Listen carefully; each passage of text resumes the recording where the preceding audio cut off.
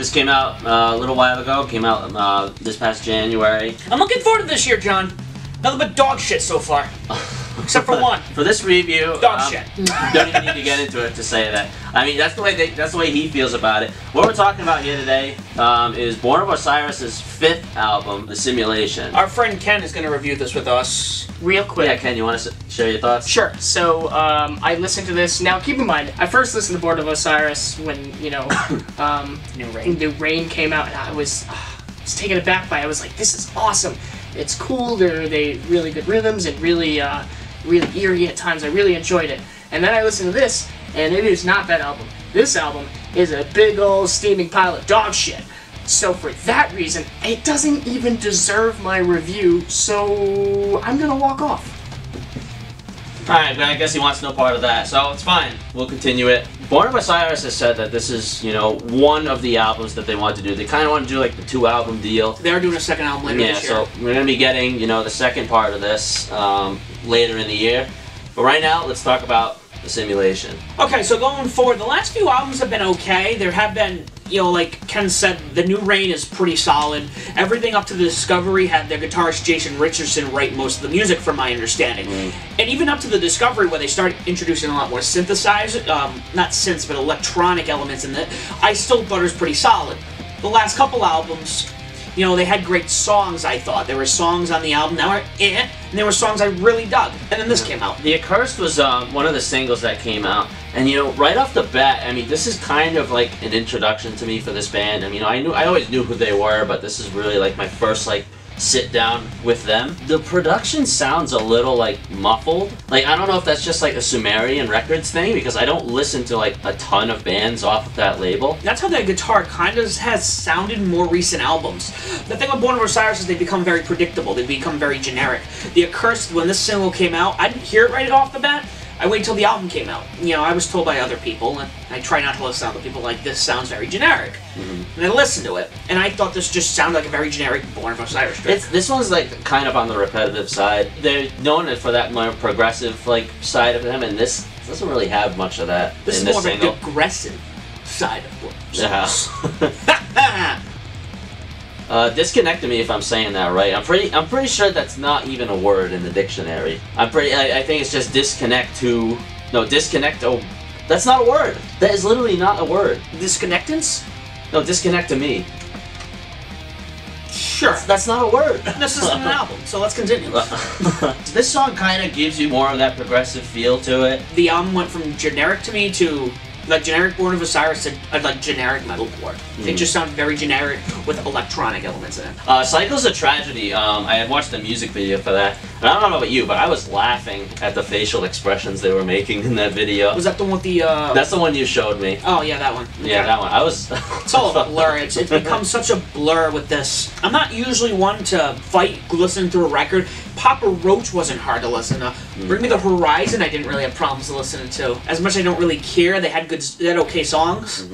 This was tough. I actually, I think this is the track I stopped the first time. For this one, it kind of feels like it's like the same lyrics are repeating over and over again. It kind of feels like like the chorus is like the only thing that's there. You, you don't really hear anything else, or you don't really pay much attention to anything else because it's so focused on that, and that, that's what where the mindset of like it being kind of repetitive comes in and being like generic.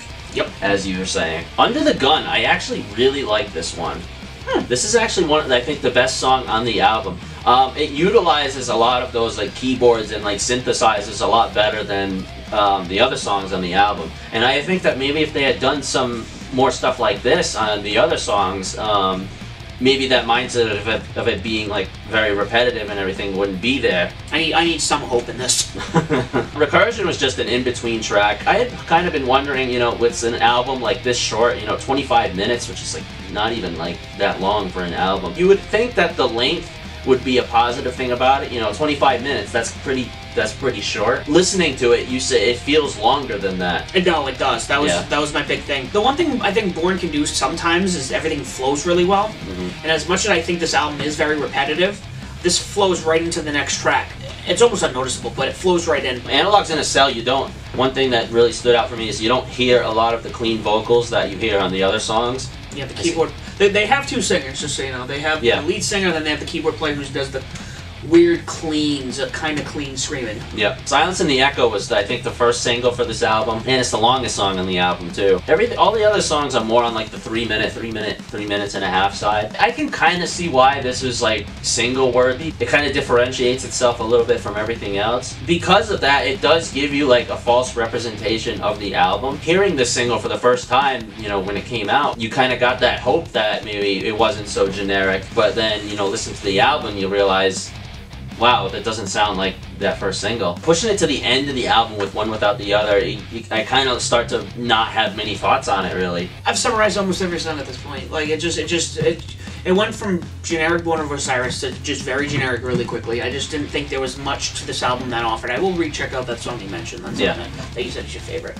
I don't know. It all, it just flowed. It just sounded like one song, and it dragged. The album dragged. It doesn't seem like they can do the whole like two album like thing. I know I know they share, you know, a label with like somebody like Between the Buried and Me, and they can do it. They can very easily do it, but Born of Osiris I don't see as a band that can that can do it. You do realize we do have to do the second one this year. Yes, we do, which will be coming. Hopefully the sixth album um, is a little bit better than this. Well, I always give as much as I can crap on bands, and as much as you know we try to be analytical. We're hoping that this next one is going to be better. I think it brings us to the biggest question of the night, age-old question: Does, it dadcore? By definition, dadcore is Could have gone pro in college. You know, hurt myself, hurt my hamstrings. Yep. But by damn it, I work in the office nine to five now. no. Let me tell you something. Oh, all right. I wouldn't say it does, but I mean, Let me let me enlighten you. feels otherwise. We're at the end of a decade. 20 years into the 21st century. We made this as a joke of bands that sound like they just age and stuff that dads listen to. In 10 years, the band continues doing what they're doing. This is what dadcore is going to become. This is going to be the definition of dadcore. This is the kind of stuff that I could be hanging out. We could be hanging out with friends, having a you know family parties, whatever. And that one guy is going to be like, "Hey, I got some Five Finger Death Punch. I got some Born of Osiris. Let's throw it on. Let's Wow. get you know, let's get the jitterbug going and everything." Yeah, Be playing festivals or shows with Five Finger Death Punch soon. You think at this rate? Not necessarily, but this is this is what I Spon- see. sponsored by Monster Energy.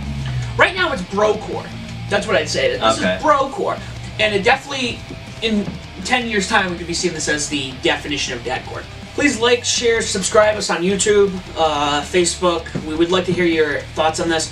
Like we said before, we're looking for albums. We're looking for stuff to listen to, something different. Yeah, we also reviewed uh, Ginger's new EP. Uh, be sure to check that as well. That just came out, and we'll see you next time.